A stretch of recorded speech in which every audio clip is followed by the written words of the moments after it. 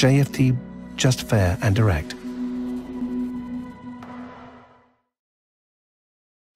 Good morning, everyone, and welcome to JFD's day uh, to JFD's weekly market outlook webinar for the week June the 22nd until June the 26th.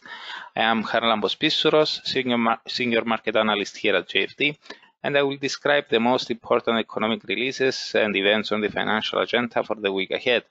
But before we start, let's uh, read our disclaimer.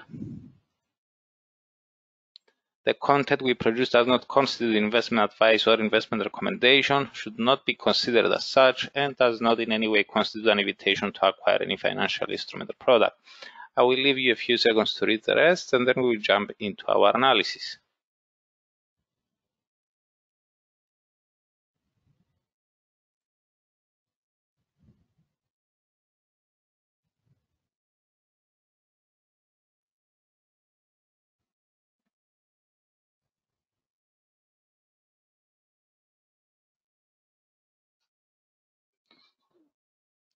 Okay, following a very busy week with four central bank monetary policy decisions, the calendar becomes much lighter this week. We have only one central bank on the agenda, and this is the RBNZ. We also get uh, the Eurozone, UK, and US preliminary PMIs for June. We have the Bank of Japan summary of opinions, as well as the US final GDP for the first quarter. But let's let's uh, take things from the beginning. Uh, on Monday, Monday Monday appears to be a relatively light day, with uh, the only release worth mentioning being the US existing home sales for May. Expectations are for sales to have declined, but at a slower pace than in April. Namely, they are expected to have slid 3% month over month after falling minus after falling 17.8%. Now, on Tuesday, Tuesday is uh, PMI day. During the European Day, we get the preliminary prints for June from several Eurozone members and the bloc as a whole. Both the Euro area manufacturing and uh, services indices are forecast to have risen further, but to have uh, remained within the below 50 territory. Specifically, the manufacturing uh, index is expected to have risen to 44 from 39.4, while the services one is forecast to have inched up to 40.5 from 30.5. This would drive the composite PMI up to 41 from 31.9.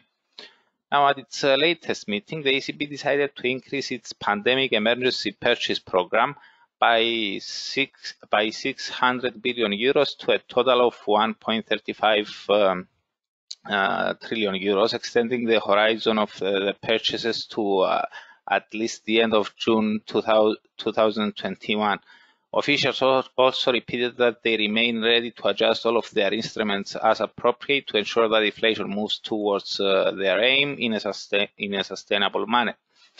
Now, with the headline CPI rate at 0.1% uh, year over year and the core one at 0.9%, another month of contraction in both the manufacturing and services sectors, despite at a slower pace, may keep the door for further easing by the ECB in the foreseeable future wide open. We get pre preliminary PMIs from the UK and the US as well. No forecast is currently available for uh, the UK indices, while uh, with regards to the US ones, uh, both the manufacturing and services indices are expected to have increased to 47.8 and 46 from 39.8 and 37.5 respectively. Having said that, though, as we noted several times in the past, market participants tend to pay more attention to the ISM indices, which are due to be released on July 1st and uh, 6th. The US new home sales for May are also coming out, and the forecast points to an acceleration uh, to 3.5% month over month from 0.6%. On Wednesday, during the Asian morning, the RBNZ announces its monetary policy decision. At their latest gathering, policymakers of this bank decided to keep interest rates unchanged, but nearly doubled their QE purchases from 33 billion New Zealand dollars to 60 billion uh, dollars, adding that they could uh, those purchases could still go higher. In the minutes accompanying the decision, it was noted that the negative that negative interest rates will become an option in the future, and that uh, discussions about preparing for uh, negative rates are ongoing. Since then, the only top tier indicator we got was uh, the GDP for the first quarter, which showed that the economy contracted 1.6% quarter over quarter after expanding 0.5%.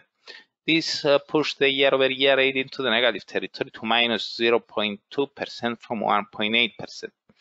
That said, this was above the bank's own projection uh, for the quarter, which uh, in May was at minus 2.4% quarter over quarter, and thus this may allow policymakers to stay sidelined at this meeting. They may prefer to wait for more data before they start considering further rate cuts or not.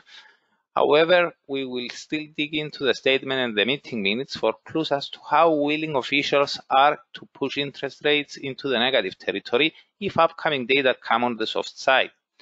Now, another round of uh, dovish signals may bring the Kiwi under selling interest. However, its uh, broader path may remain dependent on changes in the broader uh, market sentiment. If governments around the globe continue to ease their lockdown measures, this may revive some market optimism, which could benefit the currency. The risk uh, to this view is a new wave of fast spreading infection, infections and thereby the reintroduction of lockdown measures, especially after the new flare up in China. The summary of opinions from the from last week's Bank of Japan gathering will also be released. At that uh, meeting, officials kept uh, their main policy tools untouched, but noted that they are likely to increase the size of um, the size of uh, money pumped out via market operations and lending facilities from the current 75 trillion yen to 110 uh, to 110 uh, trillions. We will scan uh, the summary to see how willing officials are to act again, but we don't expect this release to impact the yen. The Japanese currency has been wearing its safe haven suit in recent months, reacting mainly to developments affecting the broader market sentiment.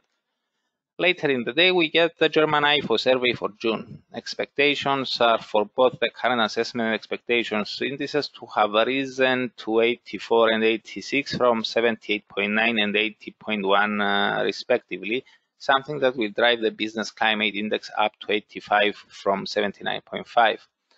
That said, bearing in mind that both the current conditions and economic sentiment indices for the, of uh, the ZEW survey increased by more than estimated, uh, we would uh, we would consider the risks uh, surrounding the IFO forecasts as tilted uh, somewhat to the upside.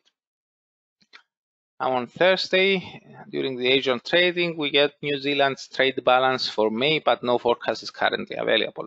Later in the day, the final US GDP for the first quarter is coming out, and it is expected to confirm its second estimate, namely that the US economy contracted 5% quarter over quarter seasonally adjusted annual rate. Even if we get a small revision, we expect this release to pass unnoticed as so we already have models suggesting how the economy has been performing during the second quarter. The Atlanta Fed GDP Now model suggests that in the second quarter, the economy slumped 45.5%, while the New York Nowcast points to a minus 19% uh, growth rate. At its latest gathering, the FOMC kept interest rates unchanged and noted that they will continue to increase purchases of um, bonds and mortgage-backed securities at least at the current pace something suggesting that purchases can accelerate again if deemed necessary. What's more, last week they announced tweaks to their bond purchases, widening the range of eligible assets to include all US corp corporate bonds. Thus, such growth rates may increase uh, the chances for the Fed to do more.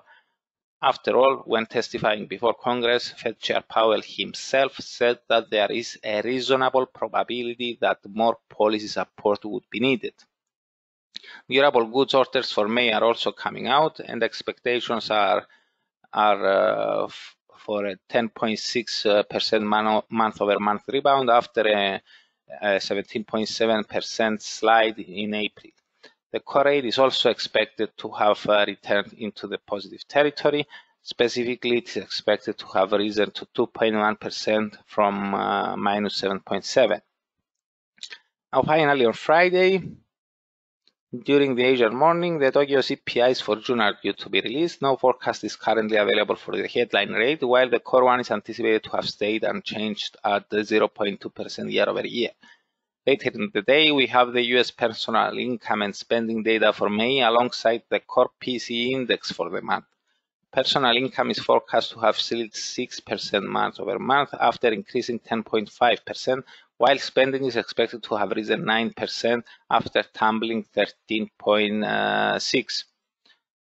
Uh, the case for declining the case for declining income is uh, supported by the average hourly earnings uh, monthly rate, which fell to minus one percent month over month from uh, plus 4.7%, while the strong rebound in retail sales for the month supports the notion for a rebound in uh, spending. As for the core uh, PCE rate, the Fed's favored inflation gauge, it is expected to have slowed to 0.9% year over year from 1 um, from 1%. The case for that is supported by the core CPI, uh, the core CPI rate, which slid to 1.2% year over year from 1.4. The final University of Michigan Consumer Sentiment Index for June is also coming out, and the forecast is uh, for a confirmation of the initial estimate, which is at 78.9. So that's it uh, from me. Thank you very much uh, for watching and listening. Uh, I hope you have a great week, and I'm looking forward to seeing you here again uh, next uh, Monday.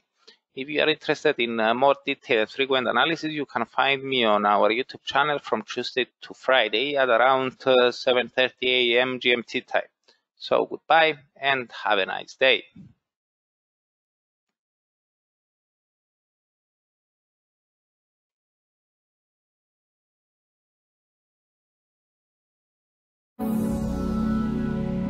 JFD, just fair and direct.